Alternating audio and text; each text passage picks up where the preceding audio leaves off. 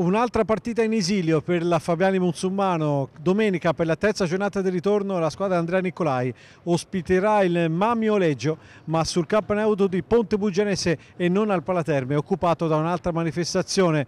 Ed è una partita importante contro Oleggio, una squadra che occupa le zone play-out, una partita che i bianco-blu vogliono vincere per allontanarsi quasi definitivamente dalla zona pericolo e pensare esclusivamente a raggiungere una delle otto posizioni che portano al playoff. Sarà una Fabiani rimaneggiata. Dall'assenza di Germa Scarone fermo per problemi al polpaccio almeno un mese. Anche Giorgio Sgobba non sta benissimo ma lui sarà certamente della partita. Una partita che richiamerà sicuramente massima attenzione e determinazione fra i giocatori bianco-blu perché è una di quelle partite da non perdere. Andiamo a giocare su un campo dove non ci alleniamo mai quindi chiaramente non è il massimo però la cosa che conta è dare in campo, dare il massimo, giocare con tutte le nostre forze e portare a casa questa partita che per noi è importante.